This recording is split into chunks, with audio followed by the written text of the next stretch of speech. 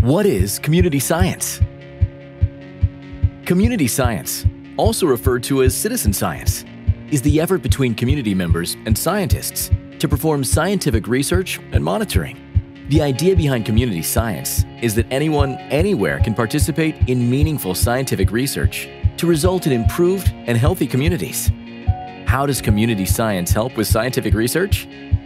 A major benefit of community-driven science is the power of numbers.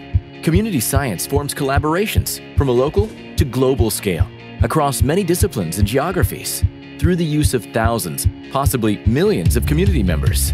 These collaborative data collection efforts allow for discoveries that a single scientist or group of scientists would be unable to achieve on their own, which is why community scientists like you are so important. Who are community scientists? Community scientists are people from all walks of life who are curious about scientific research and or are concerned about environmental health. They can be retirees, educators, students, environmental stewards, tourists, and people of all professions that come together with professional scientists to help further scientific research. Community science involves more than just the individual and is often in collaboration with government agencies, nonprofits, education institutions, and other organizations. How is community science conducted and utilized?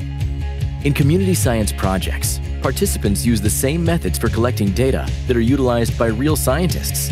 And then, that data is analyzed and used to draw conclusions. This data can also be displayed for public use and knowledge. How will it affect the future of scientific research? Through the use of modern technology, community members are able to remotely contribute to data collection from anywhere at any time, allowing research to be conducted on a global scale and therefore pushing the limits of discovery. Community science allows thousands of people to participate, meaning increased public awareness, with the hope that an informed public will play a larger role in decision making regarding science policy. I bet you're wondering, how can I become a community scientist?